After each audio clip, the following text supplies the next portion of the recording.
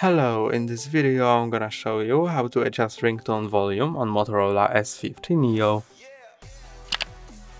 First go to settings, then sound and vibration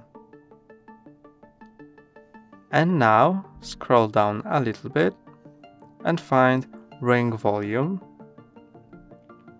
To adjust its volume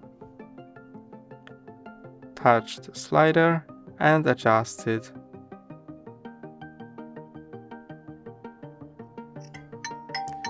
That's all for today, don't forget to like and subscribe. See you next time.